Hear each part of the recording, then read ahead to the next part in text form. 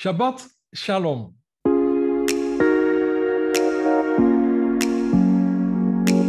For there shall be a day when the watchman will cry on Mount Ephraim, Arise and let us go up to Zion to the Lord our God. This is what the Bible says in Jeremiah 31, verse 6. It seems that Jeremiah is speaking about the end time here, where watchmen calling and motivating each other, going up to Zion to the Lord our God. But who are these watchmen? And what is Mount Ephraim? First of all, there are two kinds of watchmen in the Bible.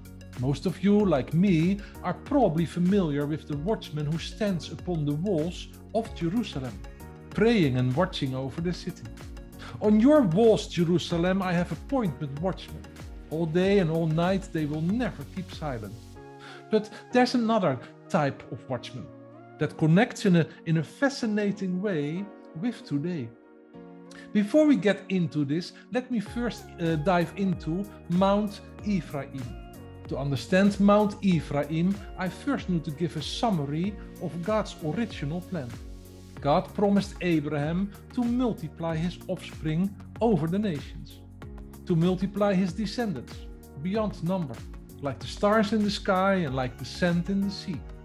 God promised Abraham's son Isaac and Isaac's son Jacob the same. And then God changes Jacob's name into Israel which means the one that strives with God. Because Jacob wrestled with an angel, the word strives is mostly translated as wrestling. But strives, in this translation, means serving. Israel, he that serves God. God blessed Jacob with 12 sons. Reuben, Simeon, Levi, uh, Judah, Zebulun, Issachar, Dan, Gad, Asher, Naphtali, Joseph, and Benjamin. At the end of his life, Israel, Jacob, blesses all of his sons. But he also blesses the two sons of Joseph as his, Ephraim and Manasseh. Against Jewish tradition, Jacob's blessing goes to the second born Ephraim instead of the first-born Manasseh. Joseph tries to stop his father, but Jacob refuses and continues to bless Ephraim first. From here, it starts to get interesting.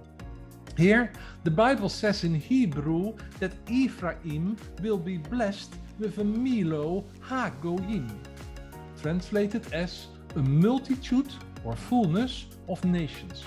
Nations, plural, not one nation. In other words, Mount Ephraim refers to nations. Then God builds Israel, 12 tribes, based on Jacob's sons. At Mount Sinai, God gives them the Torah, the first five Bible books, as the light of the nations. God warns Moses, follow the Torah, or there will be a curse.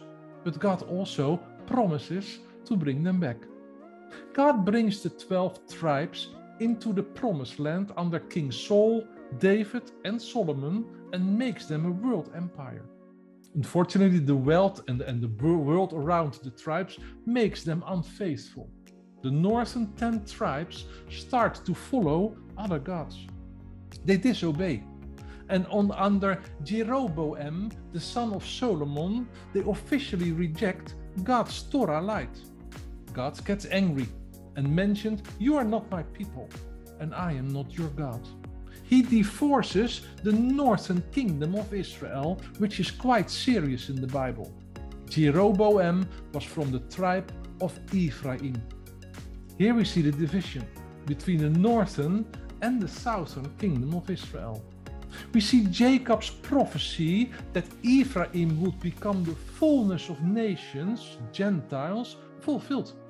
From this point in history, there are two houses of Israel the house of Israel, the ten northern tribes, and the house of Judah, the two southern tribes, Judah and Benjamin.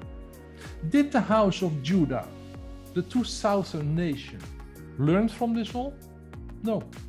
The Bible explains us that Judah didn't fear God and went to play the whore too.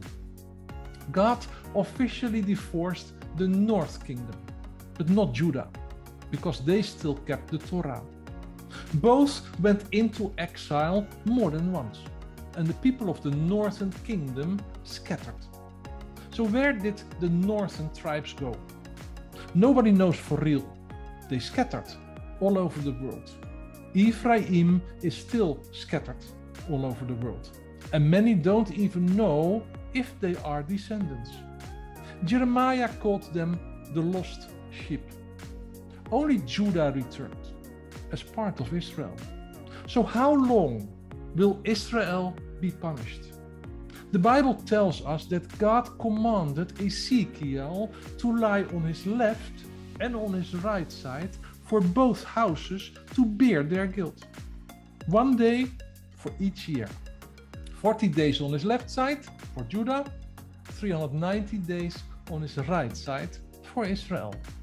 God warned the houses of Israel if you do not listen, you will be punished seven times over. And did they repent after 390 years? No. They continued following their false gods in foreign countries, foreign nations, which means 390 years against seven times punishment makes 2,730 years. Assyria took the northern house of Israel captive at 721 BC, which means a total of 2,730 years minus 721 is the year 2008. Interestingly, 2008 was the revival year, where millions of Jewish and non Jewish people turned to Torah. I scattered them amongst the nations, but they will remember me and return. God asks Ezekiel to take two sticks and write uh, uh, Ephraim and Judah, the two houses of Israel, on it.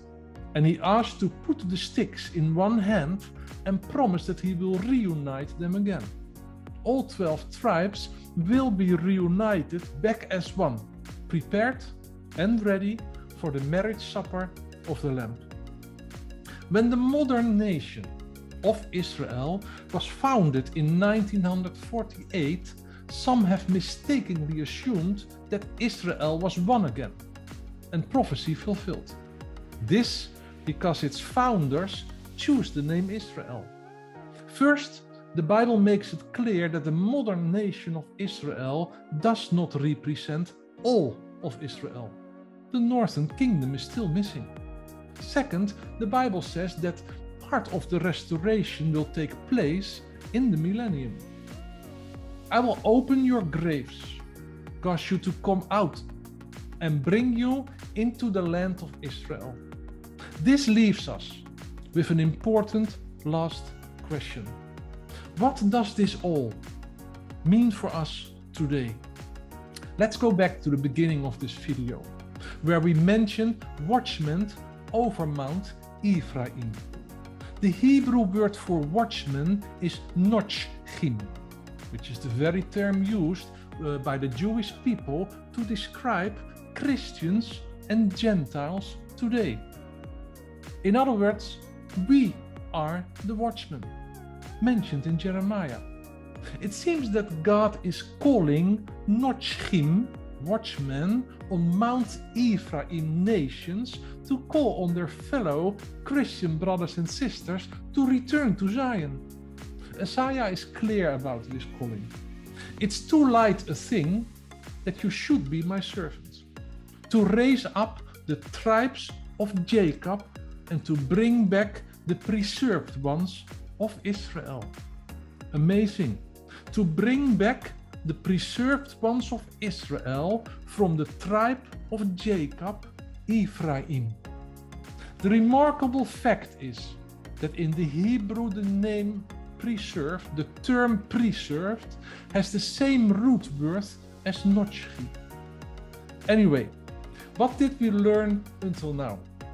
We learned that Israel plays a key role in the end times. that Israel separated in north and south, south, but the houses of Israel, Judah, will be reunited. We learned that Israel's two kingdoms can only be restored by the Messiah. We learned that in the last day, Christians are called as watchmen, Notzrim, of Israel. And the Bible says that they are holding the Lord until the moment we are ready. And that the second coming of Jesus is not a date on any calendar. The prophecy in Jeremiah dictates that both the house of Judah and the house of Israel have to be present in the land before the Messiah can return. In other words, if we want Jesus to return, we need to be part of this. We have a responsibility to awaken the people around us, to invest, to sow, and to honor Israel. Isaiah is clear I will not keep silent because of Zion, and I will not keep still because of Jerusalem, until her righteousness shines like a bright light on her salvation like a flaming torch. Ezekiel addresses the serious role of the watchman as a warner of all the people. Many are concerned about the end times and what will happen, and the horses, and the seals, and the beast, and the Antichrist.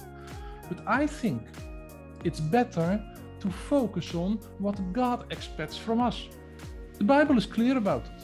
It's about our role, our investment, our sowing at this is the time. Trust me, I'm not judging. We only want to, to wake people up. We meet so many people who have no clue what's happening around them, what God is doing, and what He suspects from us. Most of us live their life. And we believe and trust that the moment when Jesus returns, everything will be okay. And everything will be solved. And I, I don't need to, need to do anything. Really. I only have a few questions. If we don't need to do anything, why God gives us clear instructions? If we don't need to, to invest or to sow, why God asks us to invest and to sow? This is about Israel, about sowing and salvation. Salvation is coming from the Jews. This is what Jesus says to the woman at the well. Israel is not a Disneyland for Christians. If in this world we get a penalty for speeding, we immediately pay. We follow. When a judge in this world asks us to do something in court, we follow. And when the traffic light is red, we don't walk or drive, we follow.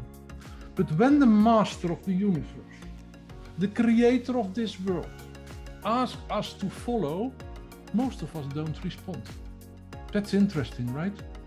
It's not a matter that we don't want, it's a matter of changing our mindset. The same counts for sowing. Sowing is a test. God doesn't need our money. It's just a simple test to see if we are willing to let go earthly things for Him, for God. Most people think that the gospel is for free. That's partly true. To receive and, and to follow the gospel, of course, is free. We fortunately have a free choice. But to share the gospel involves something more than free. Anyway, I'm not judging. As said, I try to encourage and wake people up and become part of the fulfillment of this remarkable end time prophecies. To bring back the lost sheep of Israel, the Jews and the Gentiles, us. Jesus says in Matthew, I was sent only to the people of Israel. They are like a flock of lost sheep. But we now know what Jesus meant by Israel to bring back all God's children, the lost daughters and sons. But wait a minute, where did we read this before in Scripture? The prodigal son, the lost son, the long lost son called Israel, who left the father to sin but eventually returned to the Father. Beautiful. Last but not least, it's not about whether we are a Jew or a Gentile, it's about being Israel. So, not Notzrim, if this is for you. Be like Jacob, Israel, he that serves God. Have a blessed week. Shabbat Shalom.